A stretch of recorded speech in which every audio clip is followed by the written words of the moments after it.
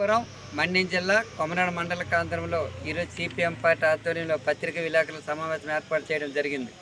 ఈరోజు నిన్న అనగా ఆదివారం కొమరాడ మండల టీడీపీ కన్వీనర్ శేఖర్ పాత్రుడు గారు కొమరాడ మండలాన్ని అభివృద్ధి పథకం వైపు నడుపుతామని చెప్పి చెప్పడం చాలా శుభపరిణామం. ఎందుకంటే స్టేట్మెంట్ ఇచ్చే స్టేట్మెంట్ ఇచ్చారు కాబట్టి ఆయనకి ధన్యవాదాలు తెలియజేస్తాను. ఈ సందర్భంగా ఆయన కొన్ని విషయాలు చెప్పారు.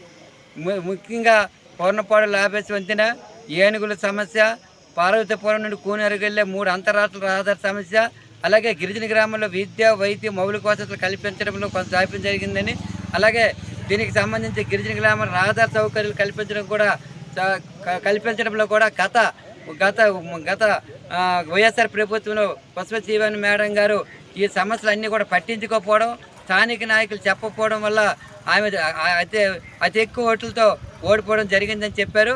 దీనికి మేము స్పందిస్తున్నాం.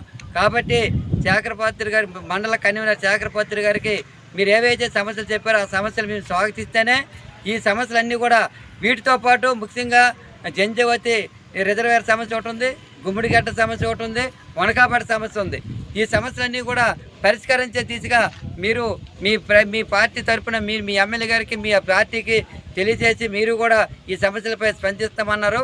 కాబట్టి ఆ దిశగా ఈ సమస్యలు పరిష్కరించే దిశగా కొమరాడ మండలిని అభివృద్ధి చేసే దిశగా మీరు ముందుకు నడవాలని మీరు అన్న మాటకు ముందు మీరు ఏదైతే చెప్పారో ఆ విధంగా నడవాలని దానికి మేము పూర్తి సహాయ సహకారం అందిస్తున్నాం.